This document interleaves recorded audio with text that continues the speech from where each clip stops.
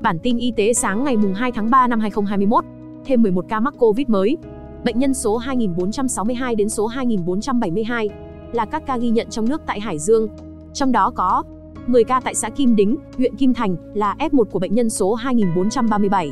Một ca tại xã Ngũ Phúc, huyện Kim Thành là F1 là của bệnh nhân số 2436. Hiện cả 11 bệnh nhân trên được cách ly, điều trị tại bệnh viện giã chiến số 3 Đại học Sao Đỏ cơ sở 2,